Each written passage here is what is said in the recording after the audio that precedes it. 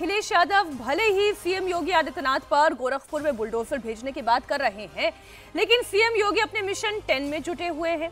आप जानते हैं, उनकी नज़र विधानसभा के उन 10 सीटों पर है जहाँ पर उपचुनाव होने वाले हैं। इस कड़ी में सीएम योगी आज फूलपुर जाने वाले हैं, जहाँ वो पाँच हज़ार से ज़्यादा युवाओं को नौकरी के ज्वाइनिंग लेटर सौंपेंगे। साथ ही छात्रों में दस हज़ार से अधिक स्मार्टफ़ोन और टैबलेट का वितरण किया जाएगा।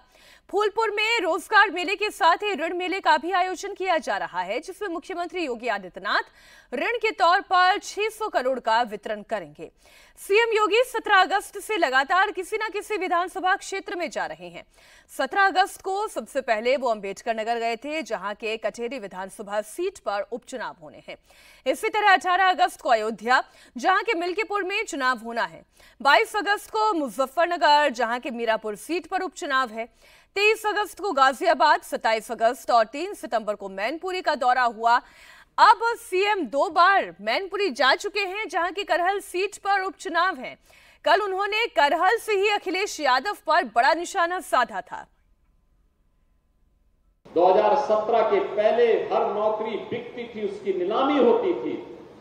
वसूली में चाचा और भतीजा समान के भागीदार होते थे। और बाद में जब ज़्यादा वसूली होती थी तो चाचा को धकेल दिया जाता था, भतीजा अकेले ही बैग लेके भाग जाता था। यही दृश्य पूरे प्रदेश का हुआ करता था। विकास के नाम पर भी यही लूट खसोट बची हुई थी। यही लूट पूरे प्रदेश में बची हुई थी। बहन और भाइयों, इनको मेनपुरी की चिंता नहीं थी, इनको इटावा की चिंता नहीं थी। इनको स्वयं की चिंता थी। और इसीलिए जब उनको लगा कि अब उत्तर प्रदेश सुरक्षित नहीं रहा तो इन लोगों ने तो अपने लिए दुनिया के अलग अलग देशों में द्वीप खरीद ले होंगे। लेकिन बहनों और भाइयों, हमें और आपको तो इसी प्रदेश में रहना है। चाचा की तो नियति ही है, हमेशा धक्का खा करके वहीं पड़े रहना। लेकिन बहनों और भाइयों उत्तर प्रदेश वासियों को धक्का खाने की आदत से अपने आप को हारना पड़ेगा।